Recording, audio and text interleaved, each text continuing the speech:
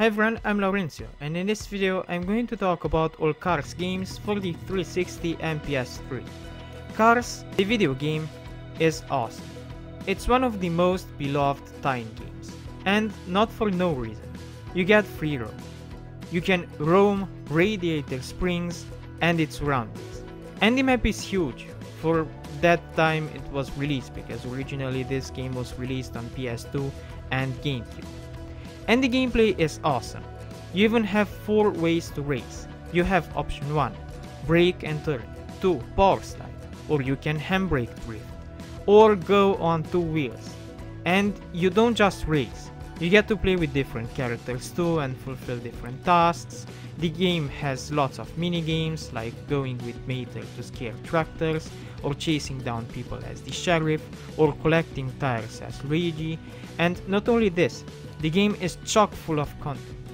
You can race as a monster truck, you can have a derby with rusty cars, you can just chill in Radiator Springs, which is incredibly beautiful at night. All in all, this game is a masterpiece. It's a love letter to all Cars fans out there.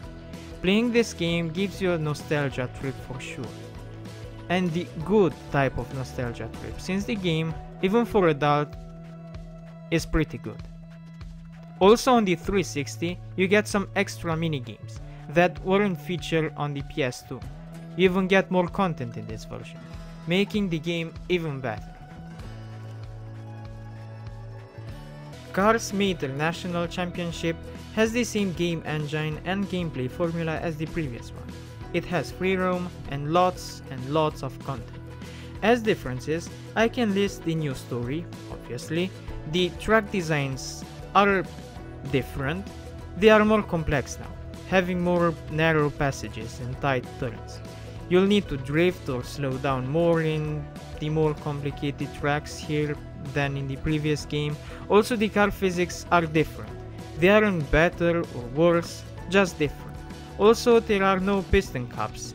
And in their place you get these rally cars with annoying personalities.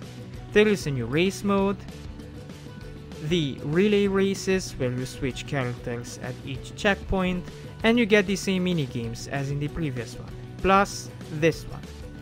Overall, even if the game is very similar to the other one, I consider it poorer than Cars 2006. It's hard to describe it, but once you start playing, you can notice that this game is more rushed. The content isn't as cohesive as in the other one, and the writing is more rushed. And on a second thought, the controls are worse too. They are different and they aren't really that much worse, but still, they are worse than in the previous one, in my opinion. But even so, it still remains a really solid and good game. Cars Race-O-Rama uses the same great gameplay formula the other games use. You get free roam, lots of races and minigames, the controls are better now, giving you more control when driving. The graphics have been super boosted, in fact the game is fantastic, and not only for tie-in game standards. It's enjoyable for normal game standards too. Also they nailed in this game what made the first one great. The sheer amount of content. Here too you get lots of minigames, and not only this, but you get more tracks and even ones that aren't set in Radiator Springs or the Piston Cup. And you can even free roam in those new areas of the game. And the game even inclines me to call it the best out of the free roam trilogy, as the drift controls are awesome and I consider them superior to the controls in the other two games. Just cruising through Radiator Springs is awesome with these controls. You can drift Radiator Springs from one end to the other. It's very satisfying, and it's like some sort of sick combo movie Need for Speed Carbon. And not only that you get the controls, but you also get new maps to roam in and new minigames so that the game remains the same content powerhouse it was from the beginning. This trilogy, these three games aren't just tie-in games. They are an homage to all Cars fans out there. If you grew up watching Cars, or if you like the franchise. Or if you want some relaxing games to play, I recommend you to try one of these three games. They are amazing. Cars 2 changes the gameplay formula and not for the good. You don't get free roam anymore. And you don't get a story either. You have a hub and can select missions from there. Also the racing isn't just racing anymore. The game is a kart racer, but at least it's a good kart racer. The controls are nice, and with the extra controls like the ability to jump or tilt your car in ways a normal car can't do that sort of handling, it's pretty good.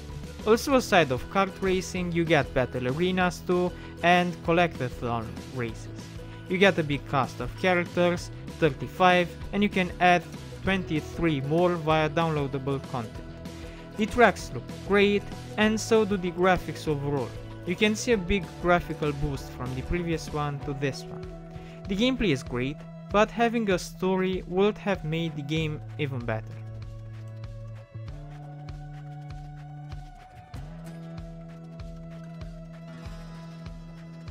Cars 3 Driven to Win uses the same mechanics and same game engine as Cars 2, but some things were replaced.